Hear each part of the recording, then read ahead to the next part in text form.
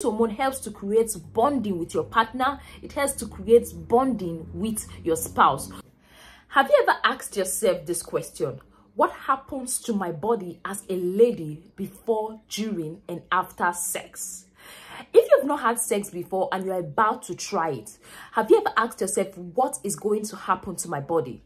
And if you've been having sex and you don't even understand what is taking place, this video is for you. Good day everyone and welcome back to Nurses Lecture Room YouTube channel. My name is Miss Mary, popularly known as a nurse with a difference, and I make learning easy and accessible for all my viewers. Today, I'm going to be sharing with you the various activities, the various phases that takes place in a woman's body after sex, before, during, and after sex. But before we go into details in today's class, if you are new on our YouTube channel and these are content you are interested in, please click on that subscribe button, turn on that notification bell so you don't miss out. For all my returning subscribers, this is Nurse Mary saying thank you. Let's go welcome back yes welcome back and i'm going to be going straight into the point without wasting your time so the first thing that happened is known as the excitement phase yes the excitement. When we say excitement we mean somebody is happy right? So what happened during this excitement phase your full body is excited. Your heart rate increases. Your pulse increases.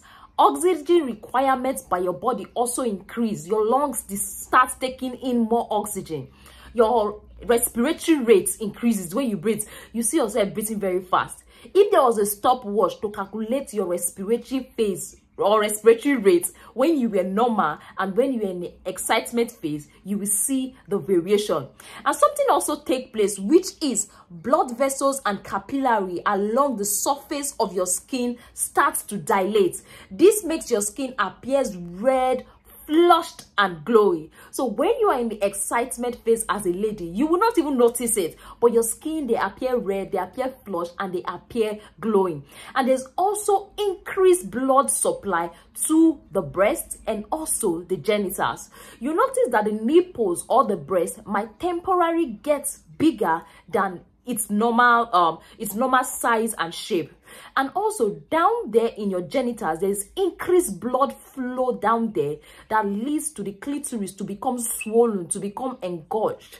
And that also makes the vagina changes its color because there's an increased blood flow to the vagina. That is what takes place in that excitement stage when you when you want to have sex when you're in the mood as a lady. So if you don't understand or if you understand what i'm trying to say as a lady please drop in the comment section and make me know that you are following.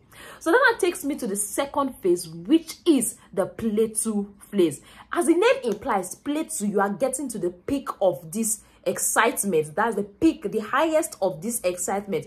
During this thing your heart rate is still on the high side. Your respiratory rate is still on the high side. Your skin is still red. It's still glowing. The blood vessels are dilating. The capillaries are dilating there.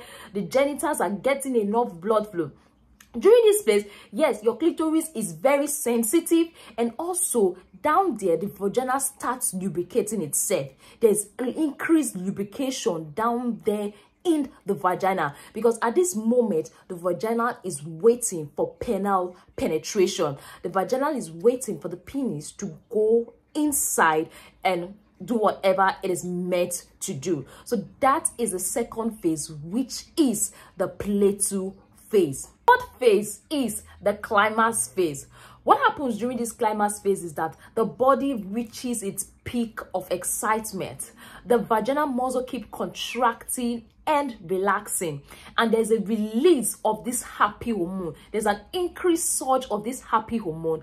The oxytocin is seen as the happy hormone. Is seen as the happiness hormone. So there's increase in this hormone. This hormone helps to create bonding with your partner. It helps to create bonding with your spouse. So this is what takes place in the climax phase.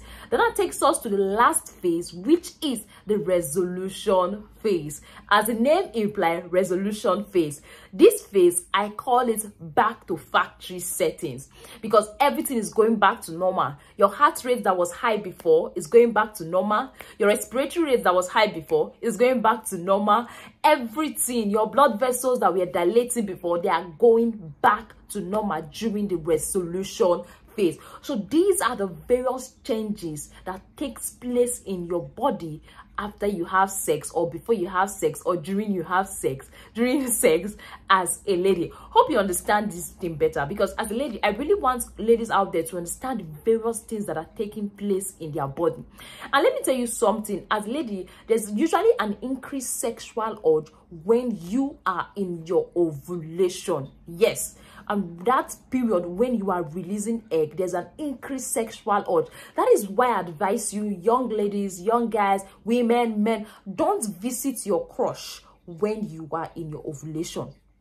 Don't visit somebody you are crushing on but you don't want to have sex with when you are on your ovulation. Because you don't know what will happen next. Because during this period as the body is being designed there's an increased sexual urge that is expected to make you like want to have sex and when you have sex the possibility of even giving birth is on a high side. The possibility of you getting pregnant and having nine months assignment is on a high side. So don't visit your crush when you are what? When you are on your ovulation. Because all this phase you are going to pass through it without knowing. Then at the end you end up oh i regret. I would have not gone there. I would have not mm -mm, calm down. I'm telling you now i'm advising you. Then also a question popped in that i said i'm going to answer it in this video which is is virginity test medically and scientifically accurate. Um virginity test is not medically and scientifically accurate.